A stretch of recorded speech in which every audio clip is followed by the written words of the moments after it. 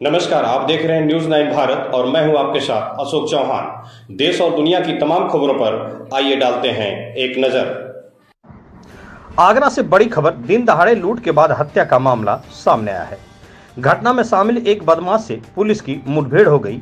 SOG surveillance थाना हरि पर्वत police की मुठभेड़, घटना में संलिप्त राजू कुशवाहा मुठभेड़ में घायल हो गया। घायल बदमाश से तमंचा खोखे कारतूस बरामद।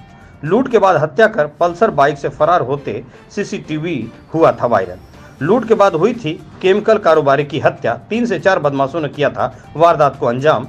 बेरहमी से पीट पीट कर कारोबारी दिरुल गुप्ता की हुई थी हत्या।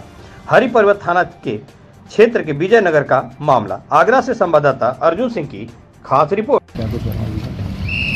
देखिए कल यानी दिनांक एक अप्रैल 2024 को थाना हरि पर्वत अंतर्गत एक व्यापारी के साथ हुई लूट और हत्या की घटना कारित हुई थी और उसी घटना में सीसीटीवी फुटेजेस चेक कराए गए।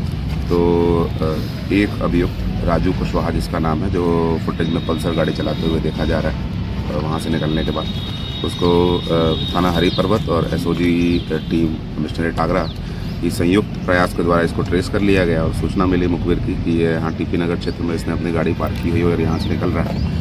और इस अभियुक्त को राजू कुशवाहा को पुलिस मुठभेड़ में गिरफ़्तार किया गया है। पुलिस इसके दाहिने पैर में गोली लगी और इसको आवश्यक प्राथमिक उपचार के लिए एस मेडिकल कॉलेज भेजा गया है।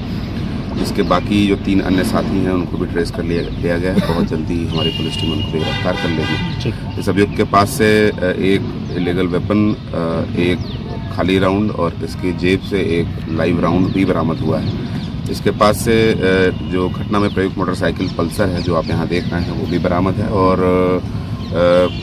कुछ लूटी गई धनराशि और ज्वेलरी भी बरामद है।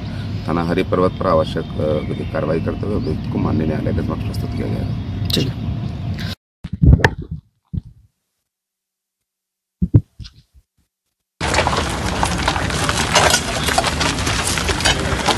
वीडियो बना ली दस वीडियो वीडियो बनाना दस दस बारह मिनट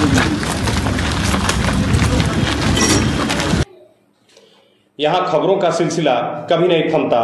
सिर्फ़ और सिर्फ़ बने रहिए न्यूज़ नाइन भारत पर। अब चाहूँगा इजाज़त। नमस्कार।